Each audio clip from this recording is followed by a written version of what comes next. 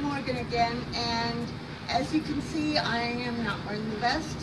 Um, yeah, I do waver when I'm not wearing it. Uh, it's part of the balance problems from the ataxia.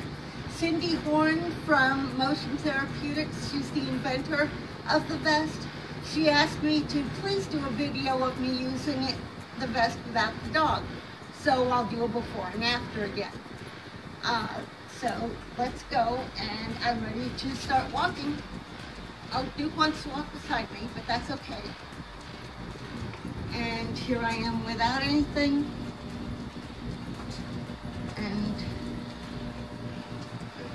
this is my normal balance. And I'm running out of sidewalk, so I need to turn around.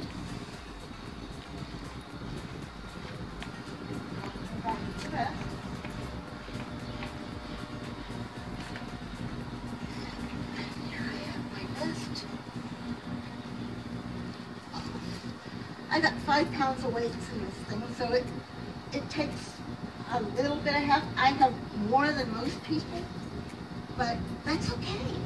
And actually, once it's on and zippered up, unless I've had it on for a really long time, I don't really notice it because of the it counterbalances me. So, and I wear it like um, sometimes up to 12 hours a day. So, okay, I'm, I'm ready to start walking. Where's my dog? Oh, he's, he's sunning. Um, okay. And here I am. No, watch, don't trip over the dog, Megan. Megan's my age, she's filming us. And, okay, I'll walk back. And that is with no doggy aid and just my balance wear vest. And I'm perfectly comfortable. It bends. Look, even the, uh, uh, when I take it off, I'll show you. Even these, this type of weight is fantastic.